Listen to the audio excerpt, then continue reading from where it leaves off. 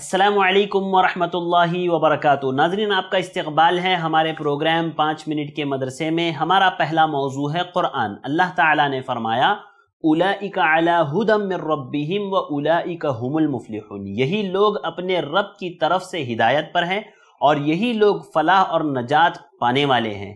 ये उन अहले ईमान का अंजाम बयान किया गया है जो ईमान लाने के बाद तकवा व अमल सालह और अकीद सहीहा का अहतमाम करते हैं। महज जबान से इजहार ईमानी को काफ़ी नहीं समझते। यहाँ पर हुदा हुदा जो अल्लाह रब्बुल आलमीन ने कहा ना, इससे मुराद नूर बसीरत, अल्लाह के दीन पर इस्तेकामत और अमल सालह की तौफीक है।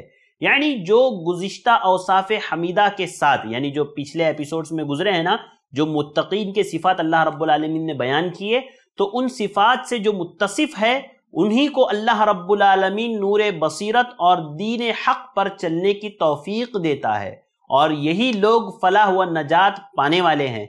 इसलिए इस राह के अलावा तमाम राहें बदबख्ती, हलाकत और तबाही की राहें हैं। कामयाबी से मुराद, अल्लाह ताला ने कहा ना, उलाइका हुमुल मुफलिहुन के यही लोग कामयाब होने वाले? तो यहाँ पर कामयाबी से मुराद आखिरत में रजाए इलाही और उसकी रहमत व मगफिरत का हसूल है।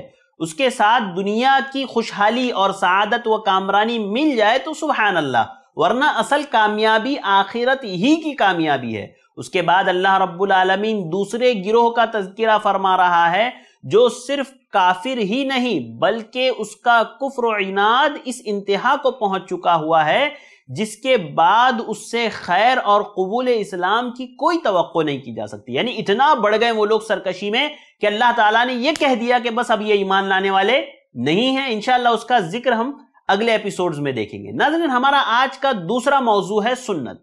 सुन्नत में आज हम बात करेंगे एक बहुत अहम मौजू के ताल्लुक से, वो है जब जनाजे की हम इत्तेबा करें, जनाजे के आगे पीछे दाएँ बाएँ चले, यानी जनाजे के साथ चले तो उस वक्त हम क्या करें? आपने माशरे में देखा होगा, बहुत सारे लोग कलिम शहादत पढ़ते हैं ज़ोर ज़ोर से उसकी तिलावत करते हैं ज़ोर ज़ोर से ज़िक्र करते हैं। ये सब याद रखिए, बिदात है, सब बिदात है। सुन्नत क्या है? देखिए, साहबा कराम के अमल से। साहबा कराम जनाजे के पीछे बुलंद आवाज़ करने को नापसंद करते थे। काना असहाबी सल्लल्लाहु अलैहि वसल्लम यकरहून के नबी करीम वसल्लम के असहाब जनाजे के पीछे आवाज़ बुलंद करने को नापसंद फरमाते थे। और खुद अल्लाह के नबी सल्लल्लाहु अलैहि वसल्लम ने मना किया। हज़रत अबू हुररा रदी अल्लाह तआला रावी हदीस है कहते हैं, अल्लाह के नबी सल्लल्लाहु अलैहि वसल्लम ने जनाजे के पीछे बुलंद आवाज़ करने को मना किया। इसी तरह आग ले जाने को भी आपने मना किया। याद रखिए, आज दुनिया के लोग, कितने लोग आज इस बिदात में मुबतला है। सुन्नत क्या है जनाजे के पीछे चलने में? खामोशी। सुन्नत यह है कि आप खामोशी से जनाजे की इत्तेबा करें जल्दी जल्दी जनाजे को कब्रस्तान तक ले जाने की कोशिश करें। उसके पीछे ज़ोर ज़ोर से अजकार करना, ला इलाहा की तिलावत करना या दीगर अजकार का पढ़ना यह बिदात है, खामोश रहना सुन्नत है और तिलावत करना, ज़िक्र अजकार करना, ये बिदात है तो इस बिदात से दूर रहिए।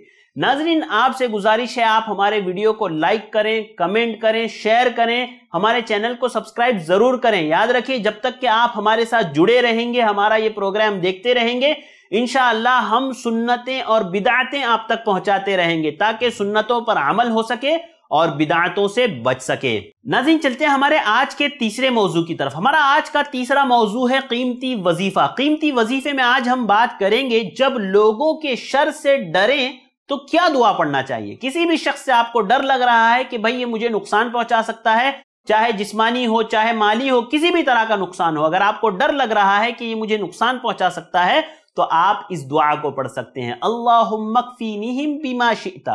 अल्लाह, तू मुझे इनसे काफ़ी हो जा जिस तरह तू चाहे। अल्लाह बिमा शिता। के अल्लाह, तू मुझे काफ़ी हो जा इनसे जिस तरह तू चाहे। ये बहुत ही प्यारी दुआ और बहुत छोटी सी दुआ है। आपको स्क्रीन पर दिखाई जा रही होगी। आप ज़रूर उसका स्क्रीनशॉट लीजिए, याद कीजिए उस दुआ को। इस दुआ को अल्लाह के नबी सल्लल्लाहु अलैहि वसल्लम ने उस वाकये में ज़िक्र किया है, जिसको अल्लाह ताला ने सूरतुल बुरूज में ज़िक्र किया। वो लड़का जो राहिब के पास जाता और फिर एक जो है आलिम के पास जाता सीखने के लिए। तो उस वाकये में जब बादशाह उसको मारना चाहता, लोग उसको मारना चाहते तो उस वक्त ये बच्चा ये दुआ पड़ता है अल्लाह बिमा शिता के अल्लाह, तू मुझे काफ़ी हो जा, जिस तरह तू चाहे, इन लोगों के मुकाबले में, यानी जो मुझे नुकसान पहुंचाना चाह रहे हैं। तो बहुत अच्छी दुआ है, नाजरीन, ज़रूर याद कीजिए। जब भी कभी आपको किसी का खौफ, डर लाक हो तो आप इस दुआ को पढ़िए। इंशाला अल्लाह ताला आपको उनके शुरूर से महफूज रखेगा। अल्लाह ताला हम तमाम को तमाम जो है शुरूर से महफूज रखे और अल्लाह ताला खैर अपनाने की तोफ़ी अदा फरमाए।